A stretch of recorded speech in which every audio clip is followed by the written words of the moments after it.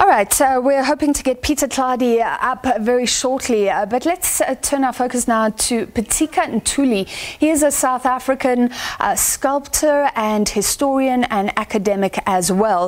Uh, Mr. Ntuli, uh, does this come as a surprise to you?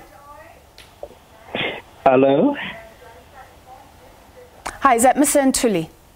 That's Professor Ntuli speaking, yes. Professor, does, does Jonas Gwangwa's death come as a surprise to you, firstly? You know, it's not coming up as a surprise uh, uh, to me, because earlier this week, within an hour and 45 minutes, I received uh, four calls about four of the people I've known for over 44 years who had succumbed, you know, to uh, you know, to, you know, to COVID, which really brings, uh, uh, you know, this uh, you know matter to far much more how serious it, it really is, Yeah. despite whatever the statistics are telling us. Yeah, yeah, so many giants are, are falling. Now, for, for the musical world, how, how do you start e- explaining uh, his legacy, what, what Jonas Gwangwa will, will be leaving behind him?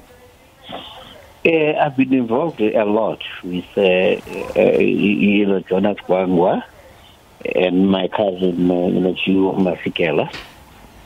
Right from the time when we were in exile, when I was in exile in Swaziland, in America, and in the and in the U.S., we worked really together across party political perspectives, but as artists and that uh, as an exile and a lot of other young people that were actually exiled, the role that uh, you know Jonas as well as uh, you know Hugh actually played in uh, donating money to help educate uh, you know people to pay their rents and the rest of uh, you know the stuff. Apart from the fact that. Uh, when massacres were taking place in the country, Steve Biko was actually being uh, you know, killed. A lot of the other people, they were the people who actually used their music through the anti-apartheid movement that dominated the world at that time to highlight the plight that we actually confronted with during that time. Yeah.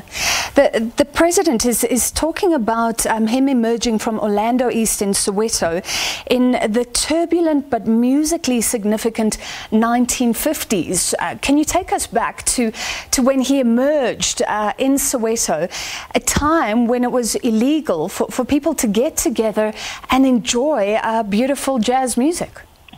No, it, it was him. It was people like, uh, uh, you know, Port Mama Chigiza. It was then later, of course, uh, the people like Mankunku, uh, Ngozi, and uh, the rest of the people who played, uh, uh, you know, the music that was absolutely indigenous and made us feel proud that uh, we were part of this country and that we were the owners of this, uh, uh, uh, uh, uh, uh, uh, you know, country. And uh, their music helped, uh, you know, fuel uh, our own, uh, uh, uh, you know, resistance. It is also him, Jonas Gwangwa, uh, Hugh Masekela, and Caiphus Semenya, who came up with a union of South Africa, uh, who were the musicians who had produced one of the most best albums. That was uh, universally uh, uh, you, you know, played to highlight the contradictions, the challenges, and the massacres, deaths, detention, and everything else that affected our people. And I mean, the historian in you, if you look back, how influential was that um, in in changing attitudes around the world? Like you say, it, it sent uh, waves across the world and and heightened that resistance against apartheid. We know uh, that in the end, the international community was so influential. Yeah. Now, what actually really happened is that uh, uh, up in 1960, 1962, actually, uh, you know, both the ANC, the PAC, and the Black Consciousness Movement uh, embarked on armed uh, in, in the struggle in order to free ourselves. But underneath that, the role that culture uh, you know, played, music played, painting played, sculpture played, poetry played, were very, very, very significant uh, know, aspects uh, uh, have been of it. And Jonas uh, Gwangwa, together with Miriam Makeba, with Hugh, as I said uh, in, in earlier on, and Caiphus Semenya, and the rest of the others, uh, uh, you know, people put on the table, you know, of the world, the challenges that we're actually confronting, and also indicated the role that creativity, creative art could actually, uh, you know, play. That's why ultimately, as South Africans, we are not liberated by uh, Wesizwe or APLA or the Azanla, uh, you know, but more because the artists mobilized the communities in the Western world.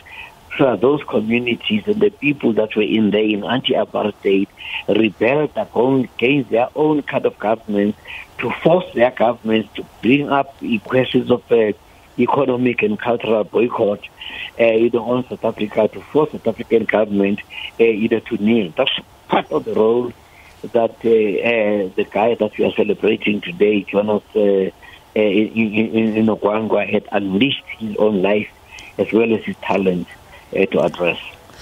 All right, thank you so much uh, for your time tonight, uh, putting um, his legacy in, into the context of South Africa and the struggle against apartheid. That was Professor Pitika Ntuli.